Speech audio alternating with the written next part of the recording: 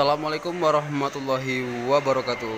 Halo guys, apa kabar kalian semua? Berjumpa lagi dengan saya Padlan Ikromi di channel Auto 354 Oke teman-teman, di video kali ini kita akan belajar sebuah tutorial uh, Bagaimana cara menyalakan atau menghidupkan uh, mobil kendaraan Daihatsu All New Terios tipe R Deluxe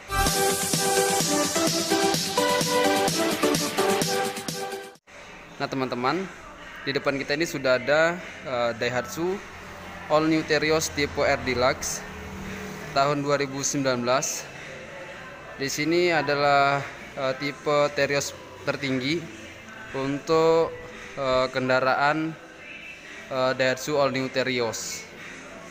Terlihat dari depan itu udah sangar pelaknya sudah racing grillnya juga udah chrome oke kita akan lihat ke belakang. Nah teman-teman ini Terios Deluxe tipe R. Nah, tipe R uh, Deluxe. Nah di video kita kali ini kita akan belajar bagaimana cara menyalakan engine-nya menyalakan uh, mobilnya guys. Karena ini uh, Daihatsu All New Terios keluaran terbaru.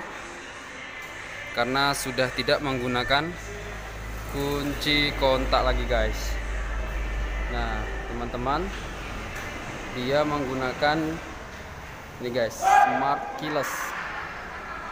Nah ini dia menggunakan smart keyless.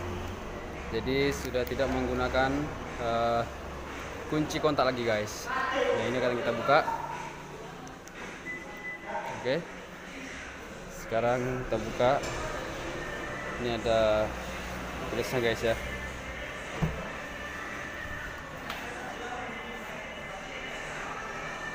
Oke teman-teman kita lihat di dalam. Ini mobil uh, Daihatsu All New Terios ini bagian interiornya dulu kita lihat. Ini masih mobil baru guys unit baru. Nah teman-teman terlihat di sini sudah tidak ada kunci kontaknya tapi dia menggunakan uh, engine start stop. Nah uh, sebagai tambahan informasi juga guys untuk yang Daihatsu All New Terios tipe R Deluxe ini uh, sudah menggunakan kamera uh, 100 eh 360 derajat. Jadi uh, kamera full ini menandakan uh, untuk kamera uh, 360 kita lihat di spionnya nih guys. Nah di sini ada kamera. Kamera 360 derajatnya guys.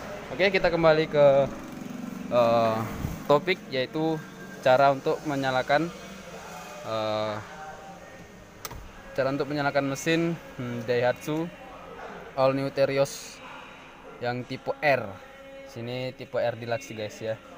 Dan untuk transmisinya sendiri ini transmisi matic guys. Karena nanti akan berbeda uh, untuk transmisi matic dengan yang transmisi manual guys. Nah teman-teman kita akan ke uh, video tutorialnya. Tapi sebelum ke video tutorial seperti biasa teman-teman uh, silakan teman-teman semua untuk klik tombol subscribe yang ada di bawah ini nyalakan lonceng dan jangan lupa like serta share-nya.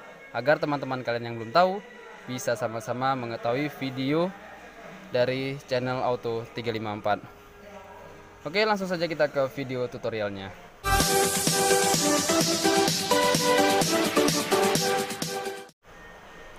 Nah teman-teman uh, kunci smart key ini smart keyless ini tidak bisa jauh-jauh dari kendaraannya guys so ini harus berada dekat dengan kendaraan. Biasanya ditaruh di sini atau ya di sini. Yang penting ini uh, harus dekat dengan uh, kendaraannya guys.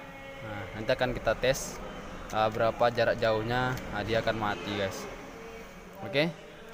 nah untuk tipe yang akan kita coba ini itu tipenya tipe manual apa tipe transmisinya transmisi manual guys jadi kalau transmisi manual caranya adalah dengan cara uh, menginjak pedal kopling guys sampai full. Jadi ini pedal kopling harus kita injak.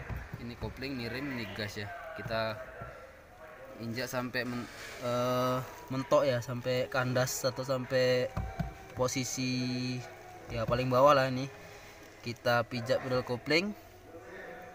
Uh, sampai lampu di sini guys. Di apanya ini guys?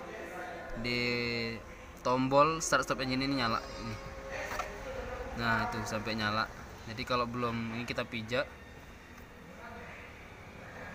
Ini kita pijak guys. Tapi kalau dia belum mentok dia di lampu di sini tidak akan nyala. Nah jadi kalau kita pijak pijak sampai mentok nyala dan ini baru bisa kita tekan tombol start stop engine nya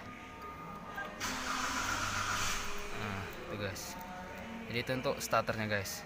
Ini karena unit baru eh, nggak uh, dikasih minyak karena juga di dalam ruangan ini guys. So nggak boleh hidupin mesin. Nah tapi tata tutorialnya seperti itu. Tutorialnya dengan cara pijak kopling sampai mentok sampai habis sampai di uh, lampu indikator di tombol engine start stopnya ini menyala setelah menyala baru kita tekan tombol start. Ini udah nyala sekarang mesinnya guys. Ini mesinnya sekarang udah nyala tapi ini kita matiin aja guys karena ini minyaknya nggak ada guys ya. Uh, ini sedikit kita matikan. Oke. Matikannya dengan cara menekan tombol start stop engine satu kali. Itu seperti itu uh, video tutorialnya cara menghidupkan dan mematikan uh, mesin uh, Daihatsu All New Terios nah itu ada suara uh, buzzer itu karena pintu ter tertutup. Nah, jadi kalau pintu kita tutup eh tadi terbuka jadi kalau pintu kita tutup dia akan mati. Jadi setelah tadi dihidupkan mesin kalau pintu terbuka dia akan eh, ada eh, indikator lam apa namanya sensor.